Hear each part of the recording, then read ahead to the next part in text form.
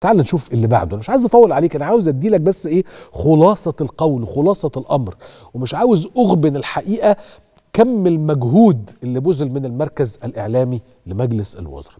جانس ريكوردز الأرقام القياسية كانوا بيقولوا إيه بيقول لك تسجيل محطة بحر البقر ده كلامهم هم في شبه جزيرة سيناء كأكبر محطة معالجة في العالم. حيث تقدم مصدر هام لمياه الري وإحنا اتكلمنا يمكن كتير على محطة بحر البقر. تعال هقول لك تحتها الأمم المتحدة أو برنامج الأمم المتحدة يو إن هابيتات بيقول إيه؟ بيقول إن خطة التنمية للرويسات تحديدا في شرم الشيخ واللي تم بالتعاون ما بين الأمم المتحدة والحكومة المصرية. وقول لي أنت كده تفتكر الأمم المتحدة هتتعامل الحكومة المصرية ليه إلا لم يكن البرنامج؟ واحد طموح. اتنين ناجح. تلاتة ضامنين إنه مستمر بنجاح.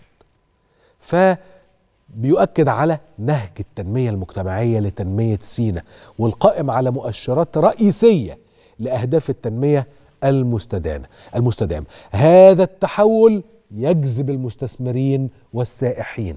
هو في دولة بتيجي تستثمر في دولة تانية وهي مش ناجحة أو فاشلة أو متعثرة أو ملهاش مستقبل طب قول لي أنت إزاي؟ لما يبقى في عندك في مصر ده على سبيل المثال مصنعين لأكبر شركات وافخر واحدة واثنين من أفخر آه السيارات أو مصانع أو مصنعي السيارات في العالم وفي أوروبا من ألمانيا بيتصنعوا هنا. ده معناه إن الجماعة الألمان جايين يهرجوا. بلاش بقى الكلام ده. طيب تعال نشوف اي ان ار بيقولوا إيه. بيقولوا الآتي بيقولوا مصر بتشتغل على تطوير سينا حتى تصبح مكانا أكثر جاذبية للعيش والعمل. خد بالك للعيش والعمل يعني إنتاج.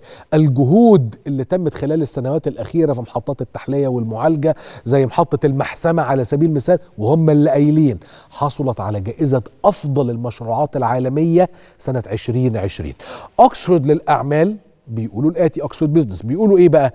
بيقولوا إن من 2014 ده هم اللي بيقولوا يعني من وقت تولي فخامة الرئيس عبد الفتاح السيسي. تحسنت مصر بشكل كبير في التقييم العالمي لجودة الطرق من خلال توسيع شبكة الطرق القومية وتشييد الأنفاق والجسور خصوصا التي أسهمت في ربط شبه جزيرة سيناء بباقي المحافظات المصرية. طب الوكالة الأمريكية للتنمية الدولية بتقول استجابة لأهداف الحكومة المصرية الوكالة الأمريكية بتدعم الوكاله التنمية الدوليه بتدعم مشروعات التنمية في شمال سيناء من خلال مبادرات مختلفة للتنمية وتحسين الوصول في مختلف الخدمات.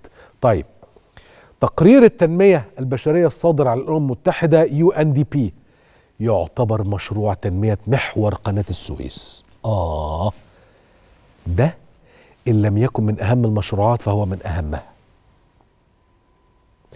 أهم قلعة صناعية بتعملها مصر. بيقوم على تعظيم الاستفادة من إمكانيات المنطقة وموانيها ومناطق صناعية ولوجستية وهو من أهم ده كلام الأمم المتحدة من أهم المشروعات القومية التي تنفذها مصر من سنة 2014 بالإضافة للأنفاق التي تربط سيناء بباقي أقاليم الدولة المصرية. ما قالوش إن مصر بتعمل طرق وكباري بس وهي مهمة. قال لك إيه؟ المنطقة دي محور قناة السويس أهم مشروع قومي بتعمله مصر. أنا هنا مش بكلمك على حياة كريمة لأنه ده أهم مشروع اجتماعي بتعمله مصر. أهم مشروع لتغيير البنية الاجتماعية المصرية وإزالة فوارق ما بين الطبقات وتضييق هذه الفوارق المهينة للأسف الشديد اللي عشنا فيها 40 45 سنة بالميت.